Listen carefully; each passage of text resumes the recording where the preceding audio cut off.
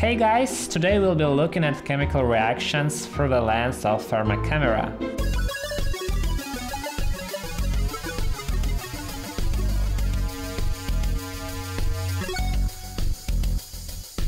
Previously in my videos, I've already used the thermal camera to show processes like the temperature of white phosphorus increasing when it's been left in the open. So I decided to dedicate this whole video to the reactions, but we will look at through the lens of the thermal camera. The yellow target always indicates the temperature in the center of the frame. The red one and the blue one indicate the highest and the lowest temperature. So let's start with some classic reactions and you don't forget to like this video. The first thing we do is we add some water into concentrated sulfuric acid, oleum and chlorosulfuric acid.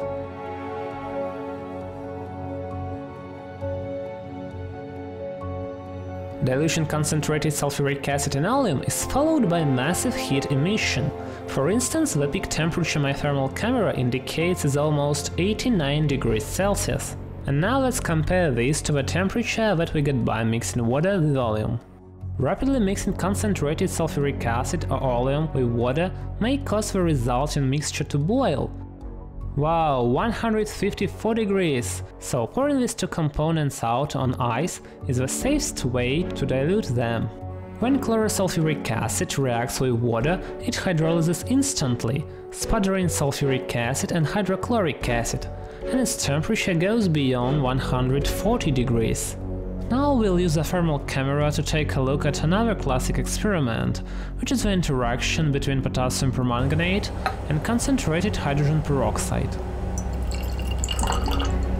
Adding a potassium permanganate crystal to hydrogen peroxide results in a violent exothermic reaction with the emission of oxygen and heat.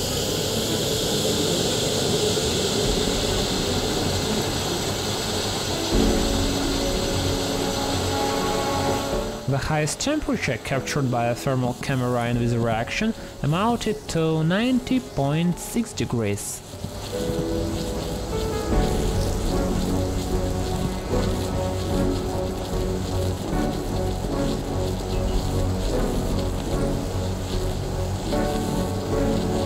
A slight change in the color palette makes this reaction look like a volcanic eruption.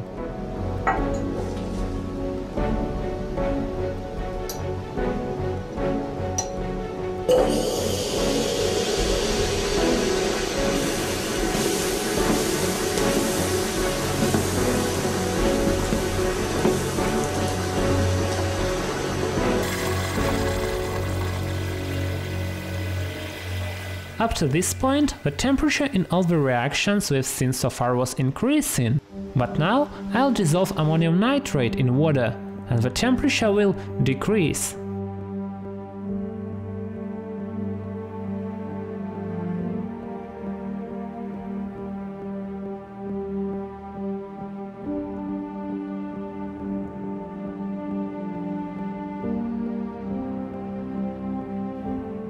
The initial temperature of water was about 20 degrees.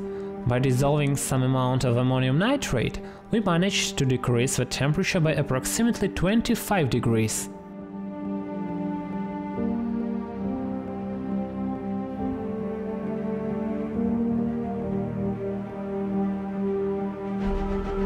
And for this peculiar reaction, I'll mix two cryogenic liquids, two liquefied gases, which are ammonia and hydrogen chloride. You all know that classic experiment in which ammonia solution and hydrochloric acid form white fog consisting of ammonium chloride. Well, this is the exact same thing, but with individual substances in the liquid state instead of solutions.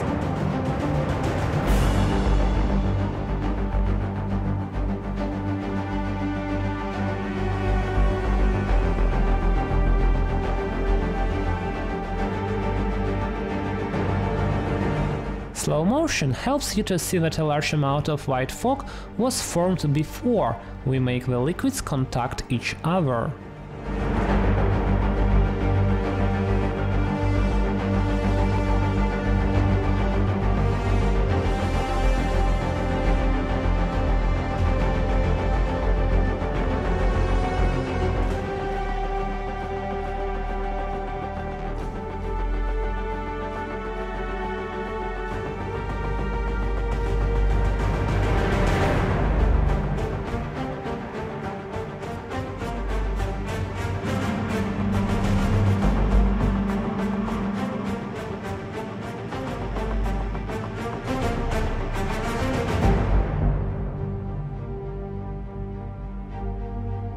And this is what you see if you use a thermal camera to look at this reaction.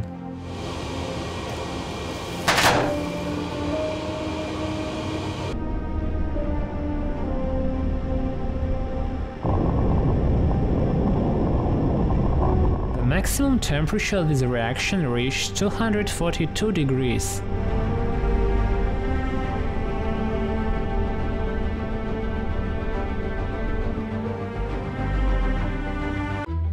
Here is one more reaction with liquefied gases. This time it's liquid ammonia and liquid chlorine.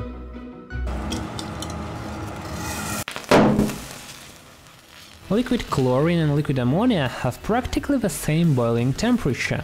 Just bringing the liquid chlorine test tube to the petri dish with liquid ammonia lets us observe white smoke forming. This is ammonium chloride, the forming of which can be the result of one of the following reactions ammonia oxidation with chlorine, the reaction of chloramine forming a rapid decomposition of it, ammonia's interaction with hydrogen chloride that forms as a result of interaction of chlorine and atmospheric moisture.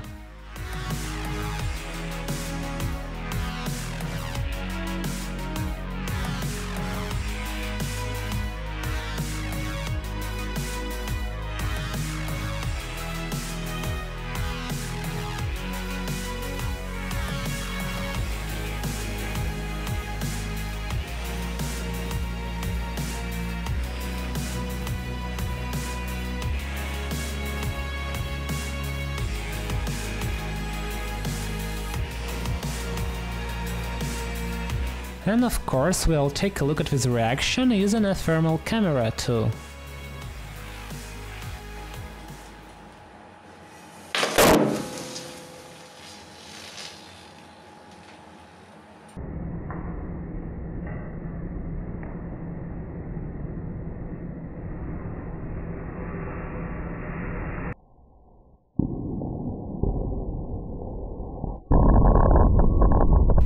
So having mixed two cryogenic liquids at minus 30 degrees, we got the temperature of nearly 300 degrees.